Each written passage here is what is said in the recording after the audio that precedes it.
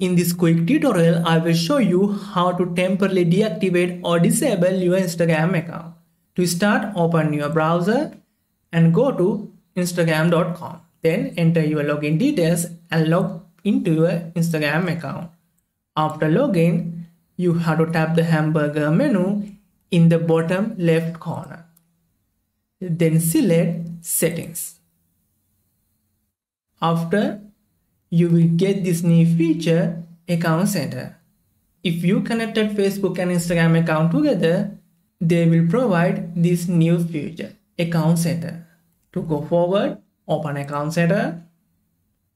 After loading, select this one personal details. Then click account ownership and control at the bottom. Select the second one deactivation or deletion. Since we are going to deactivate or disable our Instagram account, select the second one, Instagram. Here you can see deactivate account is selected by default.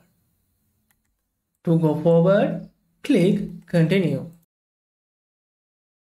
Then after re-enter your password to verify yourself. Then tap continue.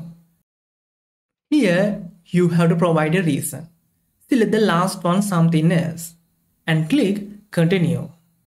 Then finally, if you want to temporarily deactivate or disable your account, click deactivate account. Then you will be logged out from Instagram. As well as don't log back into your Instagram account, it will reactivate automatically. That's it. Later.